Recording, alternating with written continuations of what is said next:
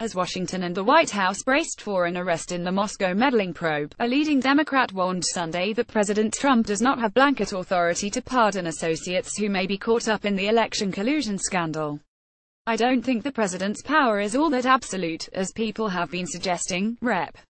Adam Schiff D. Kaloff, said Sunday in response to reports that special counsel Robert Mueller is close to bringing criminal charges against at least one political player. The president cannot pardon people if it's an effort to obstruct justice, if it's an effort to prevent Bob Mueller and others from learning about the president's own conduct, Schiff told ABC's This Week. So, there are limitations.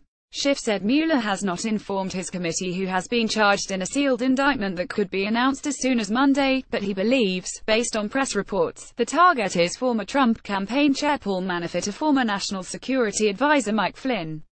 Kevin Lamarqueuters We haven't been informed of who it is, and I don't think it would be appropriate for Bob Mueller to tell us, he said. He grew cagey when asked whether Trump himself is under investigation as part of the special counsel's Russia probe. I can't answer that one way or the other, he said.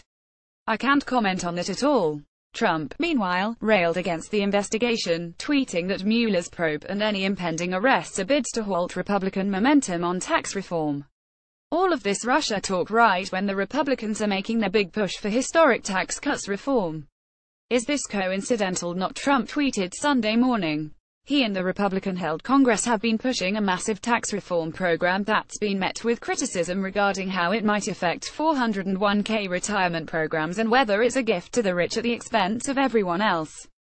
Rich Pedroncelli at Mueller's team is looking at whether members of the Trump campaign worked in tandem with Russia last year to influence the outcome. U.S. intelligence agencies have agreed Russia tried to affect the election.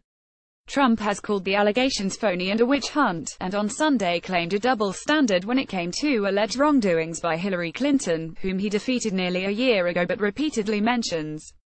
Howard Simmons New York Daily News He brought up recent reports that the Clinton campaign helped fund a notorious dossier about Trump, as well as a uranium deal with Russia that helps try tie to Clinton and, as well as her 33,000 deleted emails on a private server. He has not noted the private email accounts at least six of his aides have used for government business. Instead they look at phony Trump-Russia collusion, which doesn't exist. The Dems are using this terrible and bad for our country witch hunt for evil politics, but the R's are now fighting back like never before. There is so much guilt by Democrats Clinton, and now the facts are pouring out. To something Trump wrote in a series of tweets. Meanwhile, New Jersey Gov. Chris Christie said Sunday that Trump has not been informed he is under investigation. Carolyn Castorap I would say the important thing about today for the American people to know is the president is not under investigation, Christie said on CBS Face the Nation.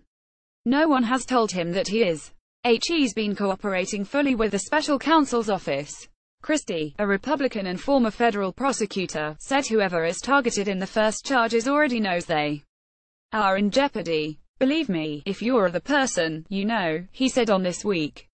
If you've been told you're a target, he said, believe me, you're not sleeping well anyway. CNN first reported Friday night that a federal grand jury has signed off on the first charges in the investigation, and an indictment could be unsealed as soon as Monday. Christie said the leak of the information could itself be a crime, if someone on Mueller's team disclose it. There are very strict criminal laws about disclosing grand jury information, Christie said. Now, depending upon who disclosed this to CNN, it could be a crime.